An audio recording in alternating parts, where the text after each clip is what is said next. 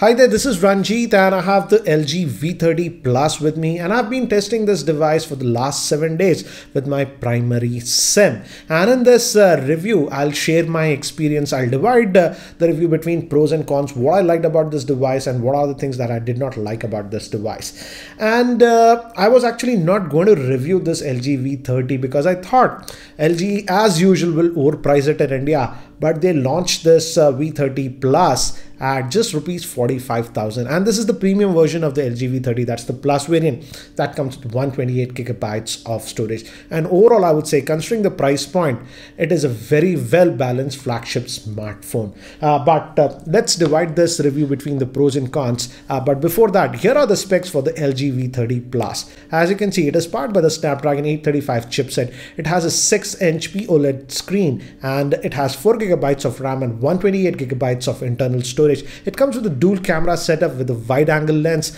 and other specs are on the screen for your reference. So now let's move to the pros and cons. First, let's talk about the pros, what I liked about this device. And the first thing that I immediately liked about this device, and I've tested every other flagship Android phone, for example, this is the Pixel 2 XL, I have the Note, I have even used iPhone 8. This has to be the lightest flagship Android phone that I've used. Even though it's having that 6 inch uh, uh, POLED screen, this is very light to hold and the lightest among the bunch. In fact, when I reviewed the Note 8, I felt it was top heavy we don't have any problems like this. And this is sort of important. Many people don't expect that. If you take a lot of calls very long calls you will appreciate that. I've taken long calls with this device over about 50 minutes and uh, due to the weight uh, I it didn't feel that it was fatiguing me. So the weight balance is done excellent on this phone and you'll immediately notice uh, that. Also again it's a flagship smartphone and it feels premium but again like other flagships also like the note 8 etc it's going with the glass back design on the back uh, and obviously the front is glass. Uh, it's gorilla glass 5 but again as it's glass so you got to be a little bit careful. And because it's uh, it's a glass thing it's slightly on the slippery side. I've already ordered a case. I'll be getting that. Sadly you don't get any case or anything bundled in the box. Again for more info check out the unboxing video. I have posted that video earlier. Link for that will be there in the show notes. Now moving to another thing that i really liked about this device is the cellular call quality reception. I have to say is amazing on this one as you can see in this office this is soundproof room. And almost uh, with airtel that's my primary sim. I hardly get any signal with almost any other uh, smartphone. I just get one single bar in this room because it's soundproof so reception is low. And with many of the other phones have uh, even flagship even with pixel 2 xl uh, often uh, calls get disconnected within a minute or two in this room. But with this lg uh, v30 plus i could take long calls even in this room. Yes it got disconnected once or twice but not as frequently as other flagship smartphones i've used. So in terms of cellular uh, reception it's also good. And now moving to cellular call quality that was also very good. Uh, the earpiece is loud and clear and i didn't have problems with that. So in cellular reception lg has done a very good job now moving to the screen quality, I was actually pretty skeptical about this. Uh, if you have seen my review of uh, the Pixel 2 XL and also in my top 5 smartphones, the Pixel 2 lost because of the screen display and uh, actually uh, the screen on the Pixel uh, 2 XL is actually made by LG itself. And it's a similar POLED screen uh, that they're using. But for some reason I don't know if uh, the quality control has improved or whatnot because I've been using this Pixel 2 XL for the last two months. This I just got last week. I purchased it from Amazon.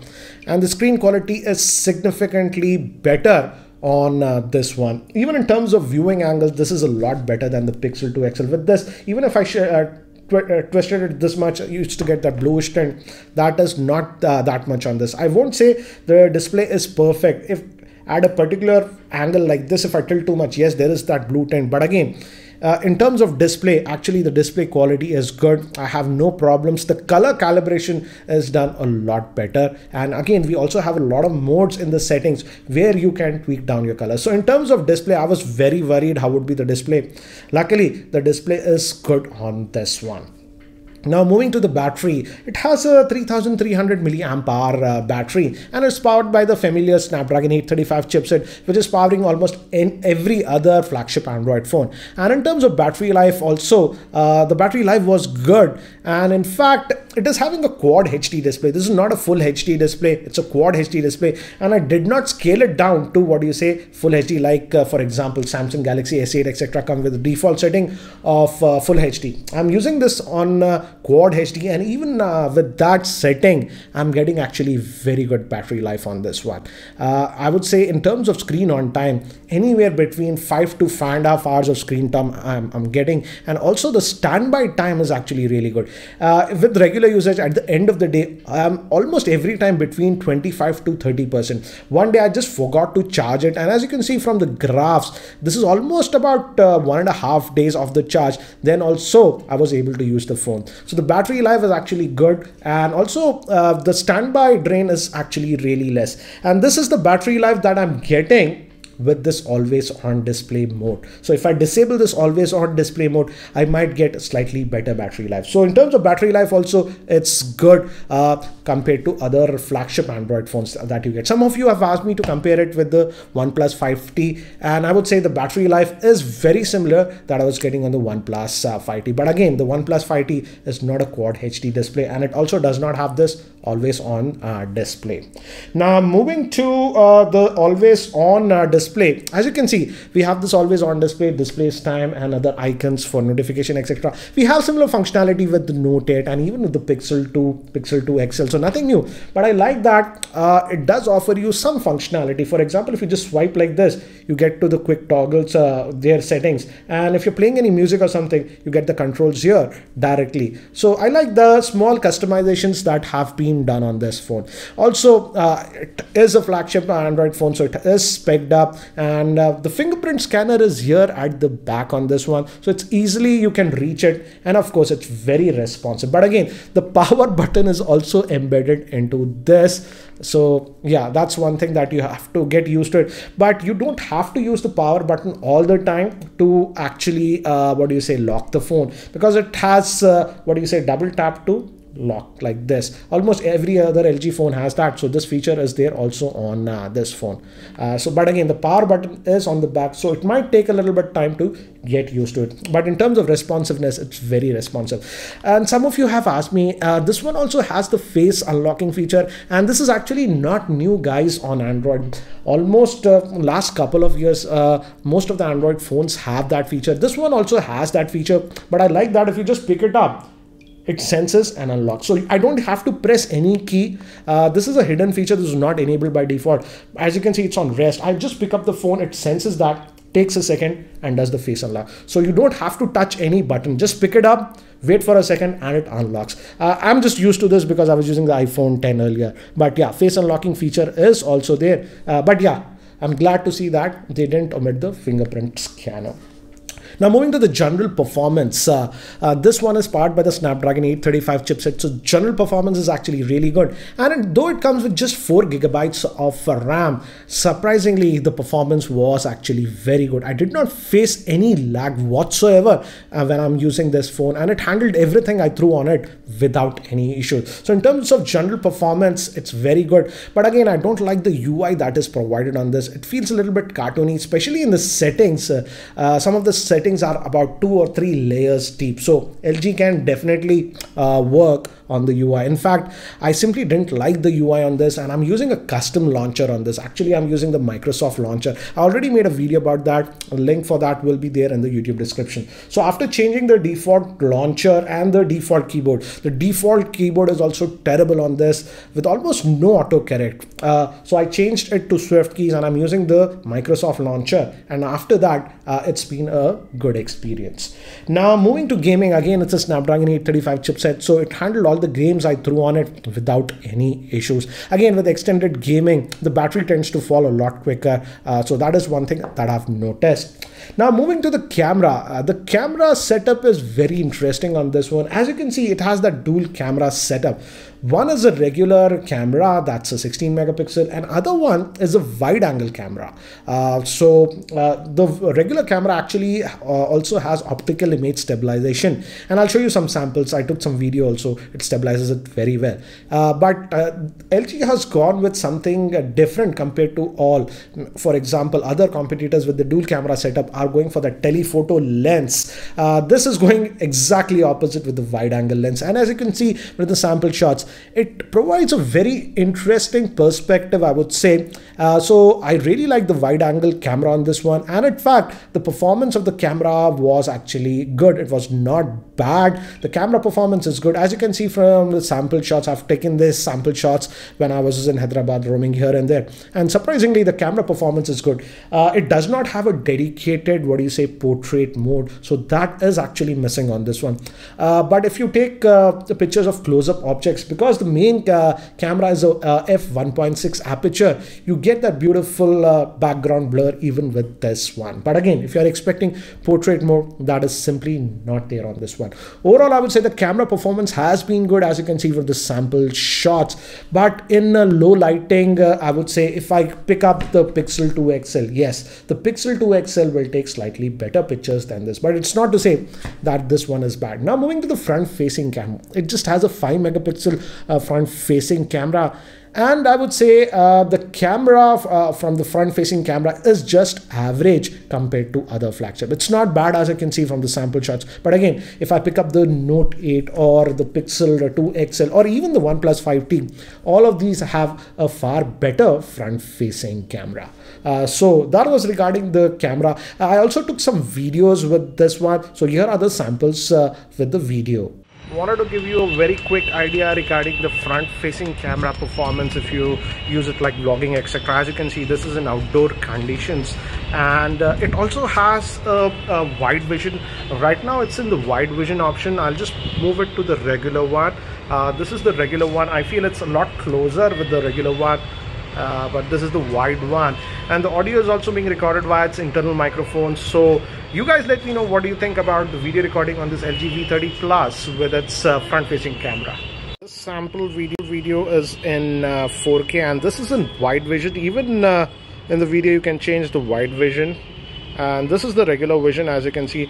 And this is in 4k so what I'll do is I'll just walk a little bit to see if uh, it does uh, any decent stabilization. And as you can see I'm walking and again this is the regular mode. And the beauty is that you can switch the modes on the fly between this wide vision and the regular mode even in video up to 4k Apart from that, we also get wireless charging with this uh, device and it is also IP68 certified. That means it is dust and water resistant. Even if you dip the phone completely in water, nothing will happen. And also it supports fast charging. Now moving to one thing that I really liked on this phone and if you listen to a lot of music via headphones, you love this is the audio that you get from the headphone jack. It has a dedicated DAC on this that they call it the hi-fi DAC and it really makes a difference if you have high quality headphones. For example if you have heavy headphones that are over 50 ohms actually uh, this will really shine and you can notice the difference. In fact lg says that it can support headphones up to 600 ohms. I don't have any headphones up to 600 uh, ohms but i did have some high quality headphones and i listened to the music uh, with this one and it's a delight i would say. So if you listen to a lot of music via the headphone jack you'll really appreciate that. And also lg has provided some audio tweaks when you enable that uh, hi-fi DAC mode. So you can actually change the sound signature a little bit. Some of you have also asked me to test it with Bluetooth. Uh, for example, I have these are the AirPods and I did test them with AirPods and even uh, uh with the Bluetooth uh, headsets like AirPods etc. The sound quality was very good. No issues. Actually, it supports Bluetooth 5 and the range also I thought that I got with Bluetooth was actually excellent. Also, one more minor thing that I've noticed is that uh, it also has a built-in audio recording app and the quality of audio that I got uh, while recording was again excellent. So in fact, if you're a person like me who works in video and stuff, you can use uh, this one as an external recorder for just voice recording. Also moving to video, uh, again, if you are into to video, in terms of video recording, the manual modes that are offered on this one are next to none. So in fact, you can use this as a dedicated video recorder if you record YouTube videos and stuff. The amount of manual controls that they have given is amazing. So these were the good things that I liked about the LG V30. Now let's move to the cons. These are the things that annoyed me on this device. And the first thing is regarding the front facing camera. This has to be the weakest as I mentioned compared to other flagships. If you are selfie obsessed, don't get me wrong, it's not like the front camera is bad and terrible. You've seen the sample shots. But when I compare it with the Pixel 2 XL or the Note 8 or even the OnePlus 5T, all of them have uh, better front facing camera. So in that department, LG didn't do a great job in my opinion. Now moving to another thing that might annoy a lot of people. Uh, in 2017, this portrait mode was the big rage, but with this LG V30, we simply do not get that mode. We get that wide angle mode, but that portrait mode is simply missing. So if you absolutely need that, that is simply not there on this device. Now, another uh, quibble that I have is LG is projecting this phone as a multimedia centric phone, great audio for uh, and everything. But the speaker on this one is simply not that great. It has a single speaker here. In terms of loudness, it's fine. The ringtones, etc., are fine. I never missed a call or whatever. But in terms of quality of sound that comes from this is super flat and uninspiring. So I would say again in terms of speaker, this has to uh, have the worst speakers among the flagships. I don't I don't get it. These minor things LG just didn't uh, pay too much attention. And now coming to the user interface, as I mentioned earlier also, the default user interface on this is just not that great. It is very cartoony and you have to go down deep into layers and layers to adjust things. So lg really needs to revamp the ui and in fact i didn't like the default ui so i installed the microsoft uh, launcher on it. That's a third party launcher. And thankfully even with third party launchers i did not notice any lag whatsoever on this device. But again, uh, UI is a personal uh, preference. According to me, I frankly did not like the default UI. So these were the cons of this LG V30. But still, considering the price point in India at rupees 45,000, I feel this is one of the best balanced, what do you say, Android uh, flagship smartphone that we currently have in India. For the price of 45,000, you are getting a lot with this device. But again, you guys let me know what do you feel about the LG V30 Plus. I feel LG India has been doing a shitty job about marketing this device. And also, I uh, frankly feel they launched this device too late in the market. But again, guys, you guys let me know what do you think about the LG V30 Plus. And if you found this uh, video review helpful, uh, I'll appreciate if you can click the like button and if you're still not subscribed to my YouTube channel, hit that subscribe button. Thanks for watching. This is Ranjit and I hope to see you in my next video.